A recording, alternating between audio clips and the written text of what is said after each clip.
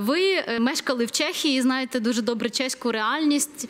Е, Чому от у Земана такі позиції проросійські? Це гроші чи це е, ідеологічні швидше якісь, я не знаю, суміжні речі? Пану Мілоші Земанові вже 70 років. Він старий комуніст, дуже багато років займається політикою. Я вам нагадаю, що коли залиш... закінчилась його остання кандидація в якості прем'єр-міністра у 2002 році, він написав книжку, яку також видав за кошти компанії Лукойл. В нього старі дружні зв'язки з Росією, і це можна в принципі зрозуміти, тому що у часи соціалізму всі товаришували і дружили. Я не думаю, що це тільки питання бізнесу. Я думаю, що це набагато більше. Якби це був тільки бізнес, то з бізнесом е, чеських компаній у Росії наразі немає проблем. Е, Декілька днів тому міністр закордонних справ Чеської Республіки Любомір Заоралик е, заявив, що е, темпи експорту до Російської Федерації у чеських компаній знизилися лише на 0,14%, в той час як з Україною експорт зменшився на 30%. Тобто це не питання бізнесу, це щось набагато більше.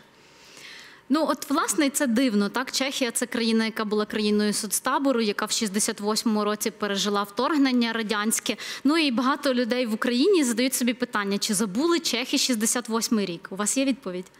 Ні, вони його не забули. Вони також не забули, що весь війська в ем, країн Варшавського договору ем, складалися не тільки з росіян, там були і українці. Е, Слід також додати, що потрібно враховувати ментальність. Чехія це країна, яку протягом ХХ століття двічі покинули у 38-му і 68-му році. Це дуже вплинуло на їх ставлення до інших е, сусідів по європейській сім'ї. Е, Це країна, яка любить мати свою власну думку.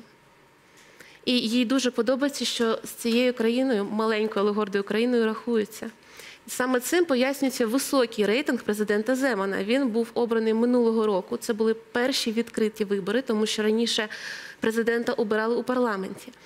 І президент Земан набрав у другому турі майже 55% голосів. І цей рейтинг в нього зберігається досі.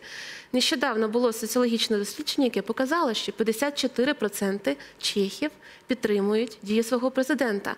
Хоча більшість населення морально на боці України у конфлікті на сході. Але підтримку президент не втрачає. І на побутовому рівні чехи пояснюються тим, що їм подобається, що їх президент говорить те, що він думає. Для мене в цій ситуації поганим видається те, що висвітлення новин щодо України перемістилося з розповідей про війну на обговорення висловів президента. Тобто подій військових в медіа вже практично немає. Всі говорять про те, що ж знову сказав Земан, а він кожного тижня зараз щось говорить. Видає якісь чергові перли.